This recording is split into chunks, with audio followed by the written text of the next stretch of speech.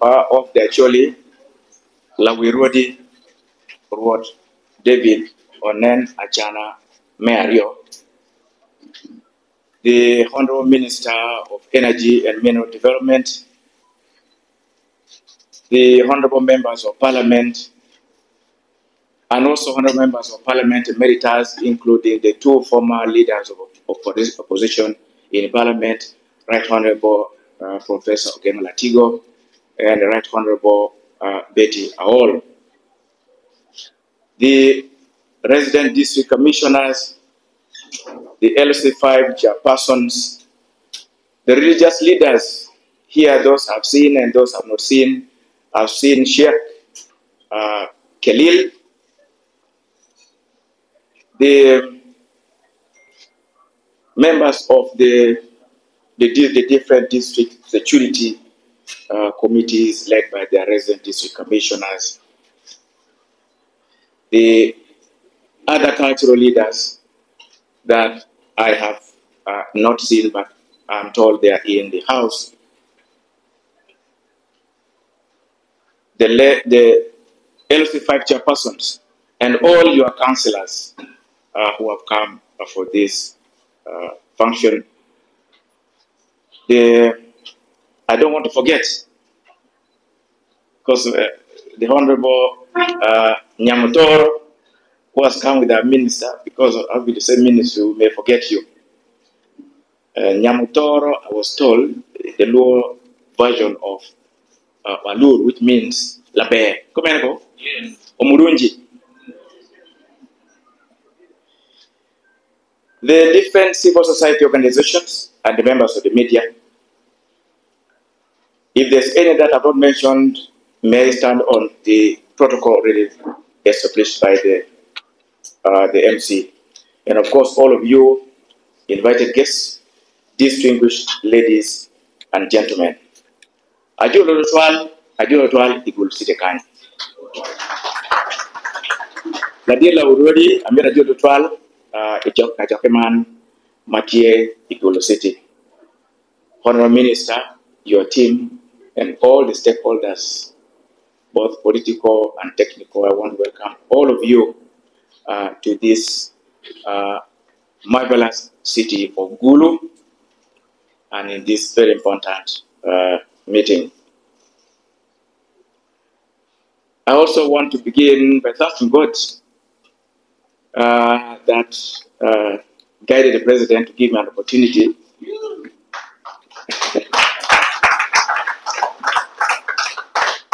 to continue serving my country in the capacity of the Minister of State for Northern Uganda. Amera Paul Kitutwal, Igoko Weng. Honorable Minister, I want to welcome you to Northern Uganda, the land of plains, valleys, hills, rivers, variety of foods, and happy people. Actually, sub-region is estimated to be about 28 28,278 square kilometers in land area and about, which is about 11% of the land area of Uganda, with a population of about 2.2 million uh, people, which is just about 6% of the national population. I want to thank you, Honorable Minister, for convening this conference and this meeting, which is the stakeholders' engagement on energy, oil and gas, energy, oil and gas, minerals in the Acholi sub-region. I really want to thank you for organizing such an event because it is in dialogue it is in dialogue where discoveries are made and great innovations and worthiness uh, is discovered. Honorable Minister, I've been made aware that Uganda has close to 27 mineral types in commercially viable quantities. I don't know whether this data was true. Oh, 57 now, so I need to update my list. So the wealth of Uganda is big. So this includes iron, gold, copper, cobalt, uranium, marble, limestone, phosphates, graphites, to mention but a few, not forgetting, of course, the oil and gas and the rare earth. In 2022-23, the mining industry contributed to 2.2%, contributed 2.2% to the national uh, GDP, according to UBOS data of 20 uh, of 21st December 2023.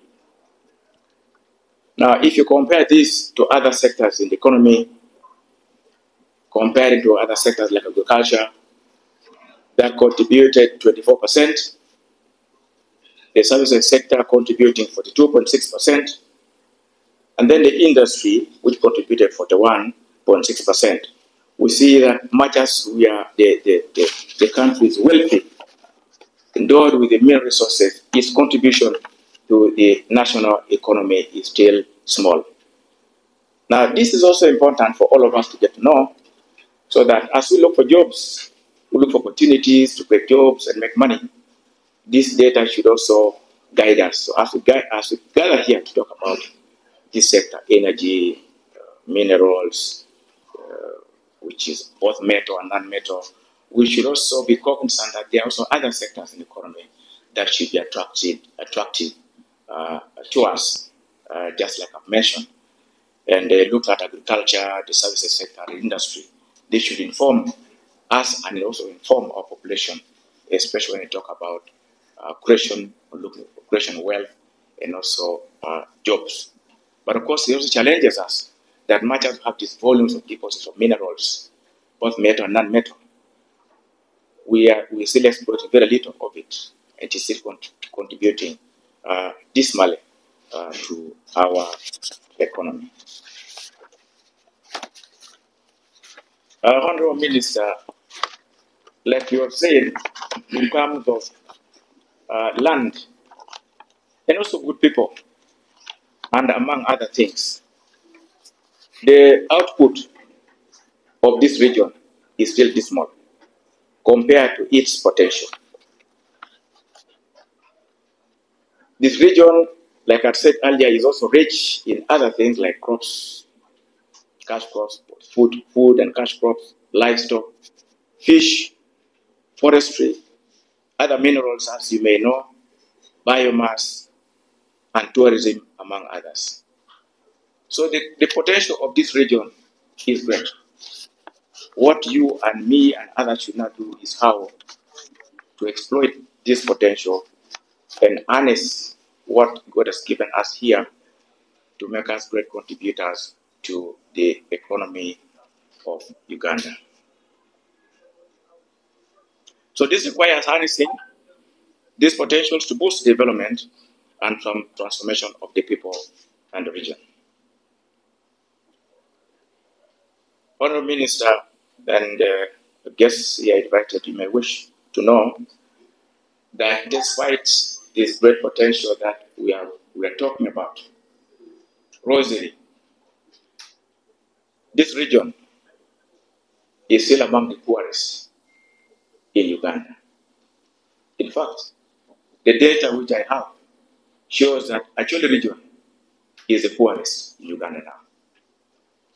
Your poverty, you and me, stand at a whooping 67%, and you are followed by Karamoja. So you have outcompeted Karamoja in holding the first number in the poverty. So as we sit here, all of us leaders in our varying capacities and calibers, we should be cognizant that we are talking about very rich region but poor.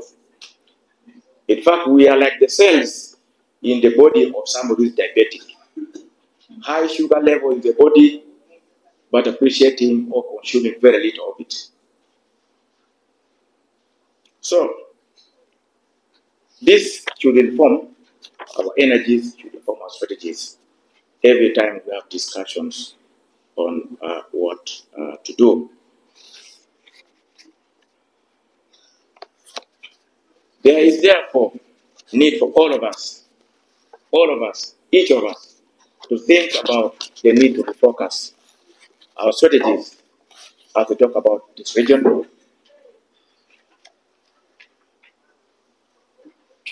Both governments and all the key players, so that we can achieve the much desired transformation uh, that we want.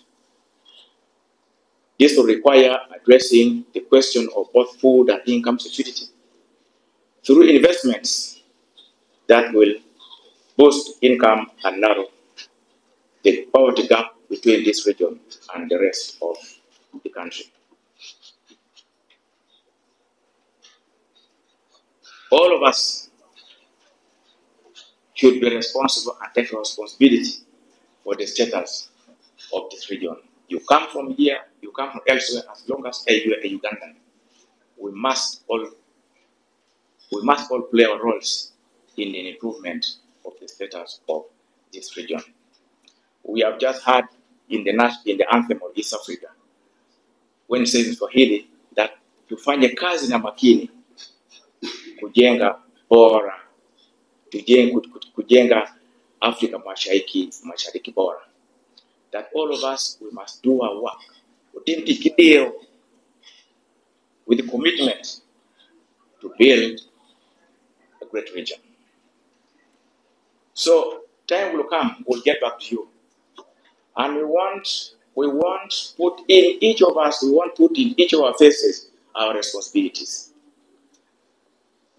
And we want to ask all of us, want us to ask ourselves questions why this region has remained like this. We in government are beginning to ask ourselves, what have we done? What are we doing?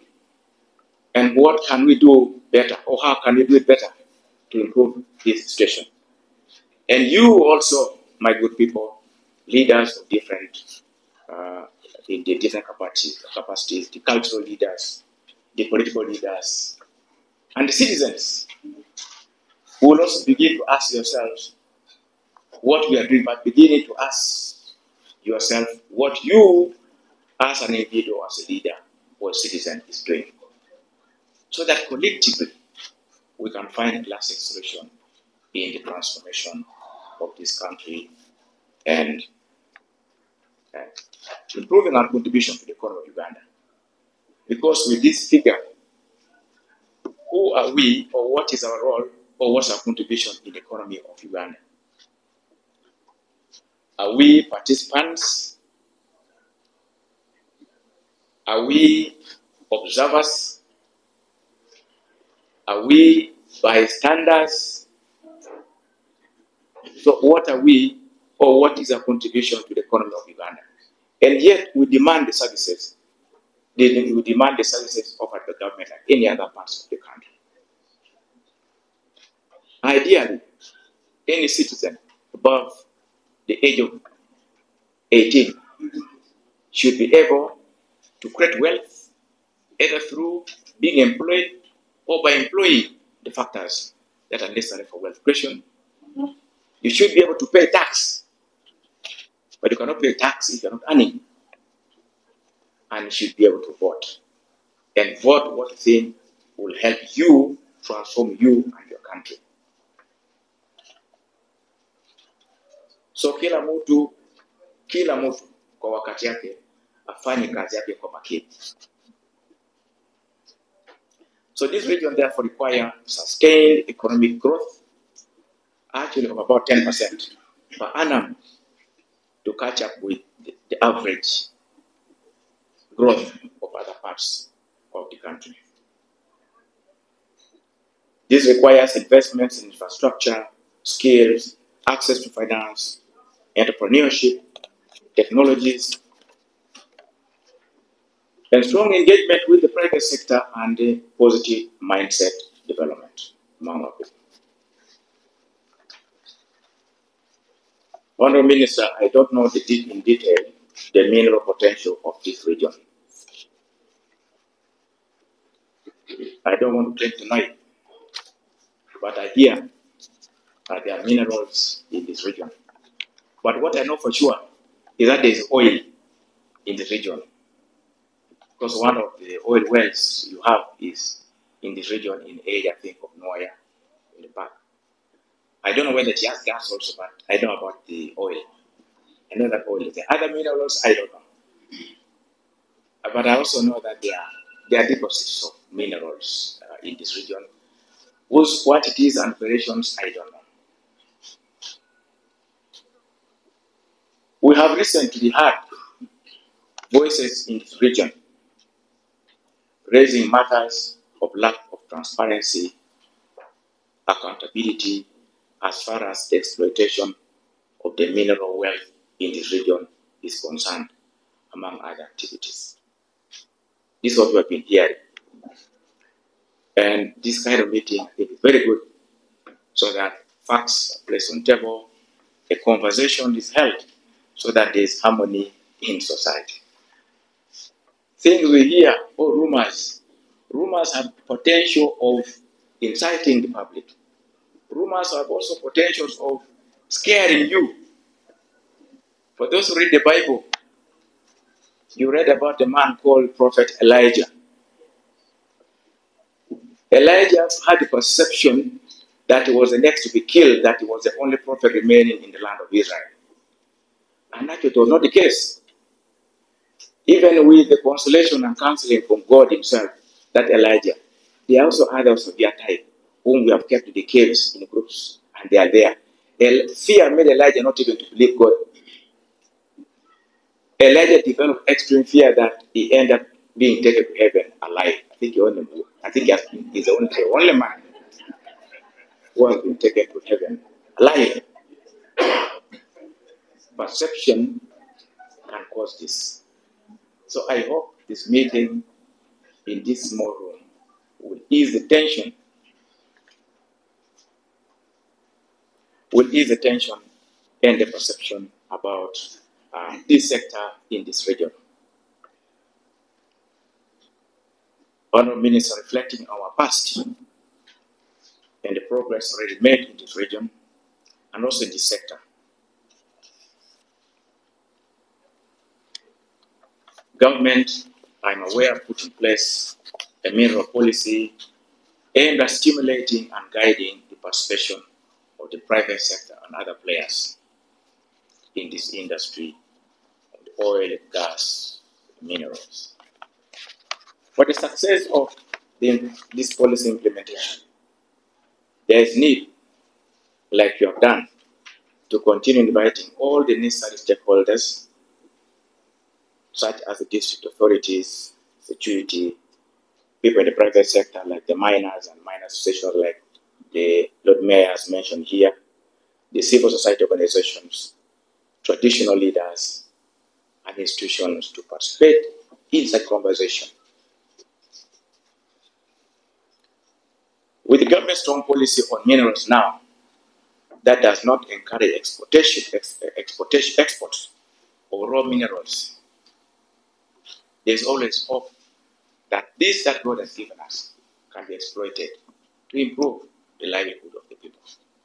Uganda does not allow now export of raw materials, meaning these minerals of whatever kind, metal or non-metal, when exploited, are able to provide jobs and opportunities uh, for our people.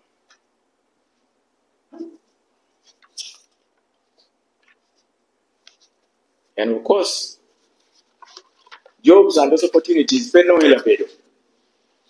They are not going to say that there are minerals in uh, Gulu City. Uh, there are minerals in uh, Bade. Now, since you come from this area, there's a job for you here and, the opportunities. No. Opportunities also get those who are prepared and ready for them. Kadi teach eno bin eni. Teach nyo biachara. Mabe teme iloko iloko maki kuni kitengo me. Pio bi bora pore kumi mo no ila be. It will not find you redundant and that these resources will benefit you. You will only have the opportunity of talking about them and you'll only benefit from other services that go, that government offers to any citizens of Uganda that also have the right over the mineral resources that on which you see. if you are not ready to take advantage of those opportunities. So to enable you, especially our young people, in a growing industry, in this growing industry, mining industry, there is need to deliberately skill the people through skilling programs to provide labor for the mineral in this uh, in this industry, in the exploitation and processing adding value uh, to these resources. Honorable Minister, I hope you'll also tell the people in this region that other than these minerals, but also the activities attracted by these minerals, bring other opportunities. For instance, provision of other services. They may need drivers, they may, they may need mechanics, they may need uh, technicians, they may need other service providers, or they may need other suppliers. If they say that, okay, if it is true, that is a lot of minerals in now, the world is going to descend in here to find minerals. And they wanted to, to supply food, quality food, vegetables, tomatoes, onions, Irish potatoes, among others. Are you ready to take advantage of this? So these are things, uh, Minister, that I also want to be very bold and tell our people that opportunities exist, but taking opportunities are those who are prepared for them. This is what the world is. Ladies and gentlemen, this kind of regional engagements the leaders and all the stakeholders is very important to ensure inclusive development of the region's natural resources, identifying the challenges and gaps, and finding solutions and forging partnerships to ensure transparency and sustainable development.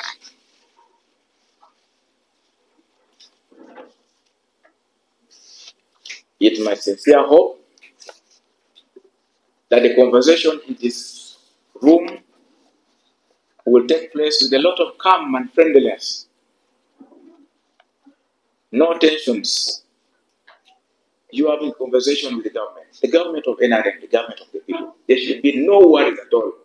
I repeat, there should be no worries at all amongst you when you have a conversation with the government of NRM because we are a government of the people. So I hope that this meeting will discuss uh, pertinent issues in this industry, the oil, gas, minerals, and then how the local people also can prepare themselves to take advantage in this industry, whether here in Acholi or elsewhere in Uganda.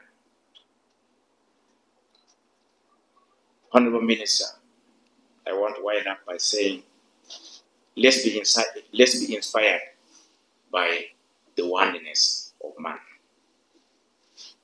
With this, I want to thank all of you for listening to me.